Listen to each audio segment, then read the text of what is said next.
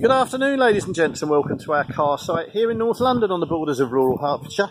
Just 10 minutes away from the M25 and the nearest Northern Line tube station. What a delightful piece of stock we've just taken in here. This is for all you classic connoisseurs. This is a Rover Cabriolet, a convertible Rover. Dates back to 1995, this one, and it's in fantastic condition.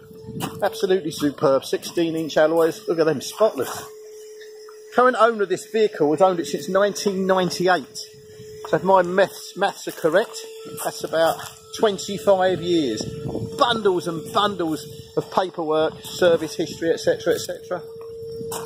This is a 1.6 engine, and the engine in this is actually a Rover engine. Uh, no, it's not. It's a Honda engine.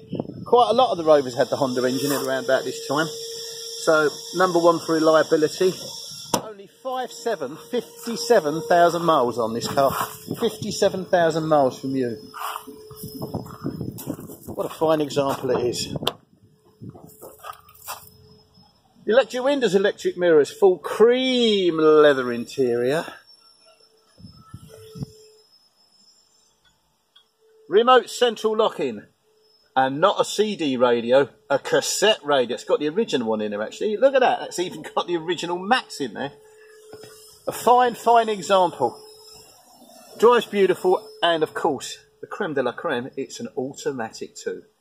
If you require any further information on this vehicle, please drop us a line or give us a call. Thank you.